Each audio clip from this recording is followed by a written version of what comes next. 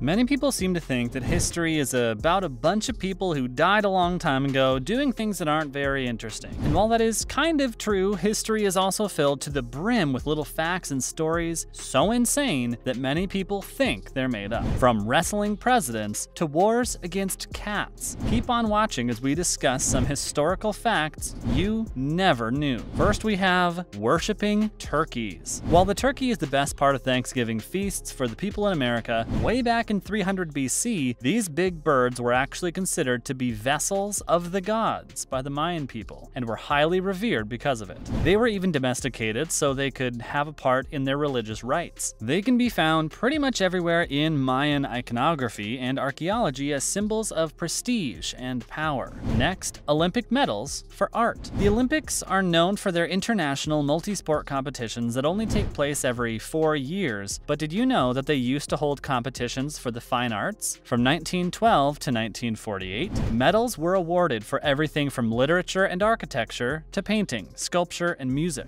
The art was created was, of course, required to be Olympic themed. Pierre de Freddy, the founder of the modern Olympics, believed that including the arts in the Olympics was necessary because the ancient Greeks had the tradition of holding art festivals along with games. 151 medals were awarded before the events were eventually removed. Up next, Marie Antoinette's 100 dead imposter sons. After the French Revolution, Louis XVII, who was only 8 years old at the time, was jailed and never seen in public again. After his parents had been executed in 1793, he was put through horrifying abuse, neglect, and then isolated in a prison cell in the Paris Temple. He ended up dying from tuberculosis in 1795 at the young age of 10. He was then secretly buried in a mass grave. Many years later, dozens of men began to claim that they found Louis XVII because of the possibility of a Bourbon restoration. If a claimant was successful, it would have led to them potentially sitting on the throne of France. Next, Napoleon and the attack of the bunnies. Napoleon Bonaparte, a legendary French military and political leader who gained prominence during the French Revolution, was once attacked by a horde of bunnies. A rabbit hunt had been requested by the emperor for him and his men, so naturally his chief of staff set it up and reportedly had his people round up around 3,000 rabbits for the occasion. It was when the rabbits were released from the hunt that things went wrong. Instead of running down the path they were supposed to, the rabbits charged straight towards Bonaparte and his men in a vicious and persistent rush. So it seems the Battle of Waterloo wasn't really this conqueror's greatest defeat.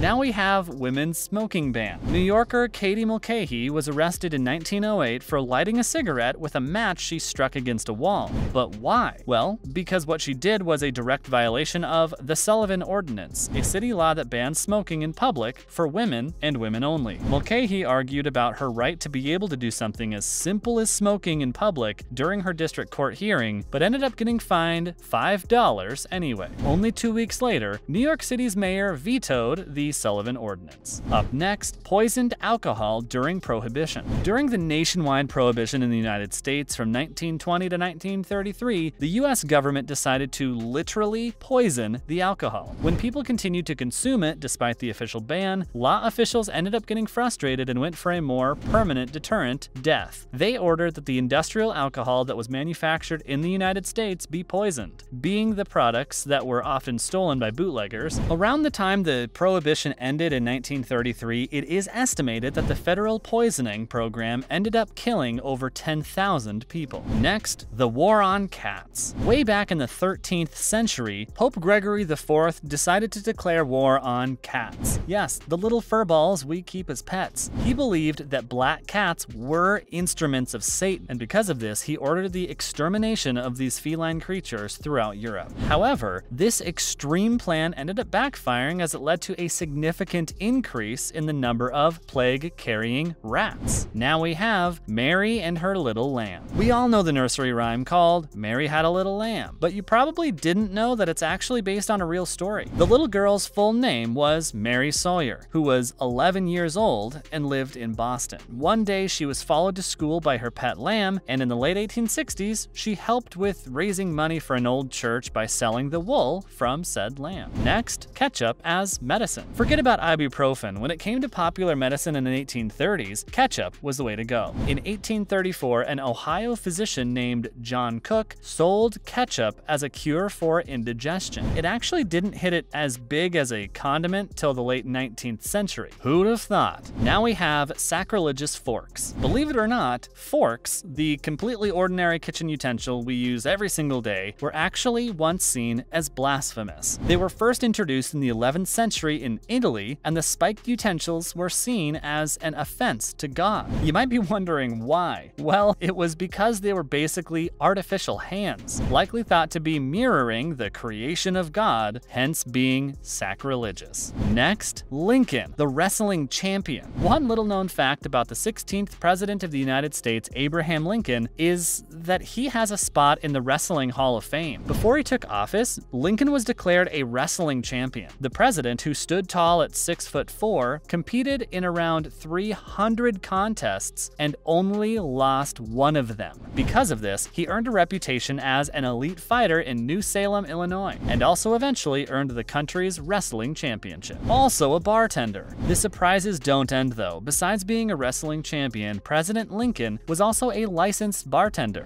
In 1833, the president actually opened up a bar by the name Berry and Lincoln with his dear friend William F. Berry in New Salem, Illinois. The bar eventually had to be closed though due to Berry, who was an alcoholic, consuming most of their supply. Next up, the $1 bill and George Washington. Contrary to what most people think, the first face on the $1 bill was not that of the first president of the United States, George Washington. The initial face on the bill was Salmon P. Chase, as the first dollar bill was issued in 1862 during the Civil War. At that time, Chase was a Secretary of Treasury, as well as the designer of the country's initial banknotes. Now the real inventor of the light bulb. A pretty common misconception in the world of history is that Thomas Edison was the one who invented the first light bulb. While he did have a startling number of patents, around 1,093 of them, most of them were stolen, though he did end up landing the patent for the light bulb in 1880. The actual inventor was Warren de la Rue, a British chemist and astronomer who invented the light bulb around 40 years before Edison. And now, George Washington's whiskey distillery. There seems to be some sort of link between presidents and alcohol, as the first president of the United States went on to open a whiskey distillery after his presidency, and a highly successful one at that. His distillery ended up becoming the largest in the country by the year 1799, producing around 11,000 gallons of unaged whiskey. After the president's death, though, the business saw a relatively quick end. Next, the deaths of John Adams and Thomas Jefferson. On July 4, 1826, both U.S. presidents, John Adams and Thomas Jefferson, passed on the same day, within five hours of each other. A pretty crazy coincidence. They used to be fellow patriots who later become adversaries, and they were also the last surviving members of the Founding Fathers. Now, the misconception about the Salem witch trials. Most of us know or have at least vaguely heard about the infamous witch trials in Salem, Massachusetts, which began in February 1692 and lasted until May 1693. Almost 200 people were accused of practicing witchcraft, including the elderly, the homeless, as well as a four-year-old girl. The majority of these people were put in jail and some of them were hanged, but none of them were actually burned at the stake. Lastly, the US president who overdosed on cherries. After serving as president for only 16 months, the 12th president of the United States, Zachary Taylor, passed away after eating far too many cherries. The president went overboard on the 4th of July party in 1850, where he mixed an unhealthy amount of cherries with milk.